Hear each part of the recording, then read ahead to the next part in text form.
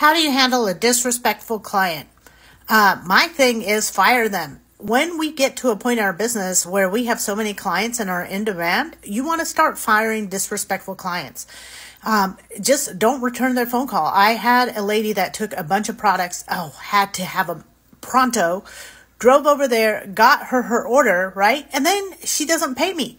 And then at that point, she kind of gets snippy about not paying me. And, you know, a couple months ago, I sent her a reminder, send a reminder. Then, uh, lo and behold, a year later, she calls me with the same emergency. And I said, You have a balance due. Never heard from her again.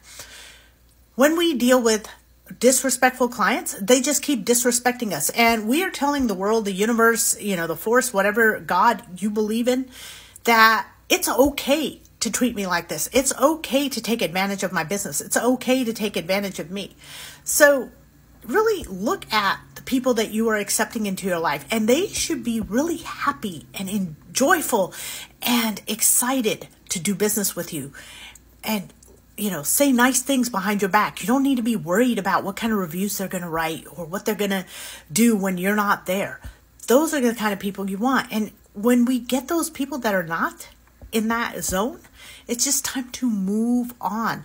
So many times I felt like, hey, if I let go this client, this one client that's paying me so much money, I mean, my whole business is going to fall apart. How am I going to do this? How am I going to do that? How am I going to take trips? But someone else will show up because you create space for nice, kind, supportive clients.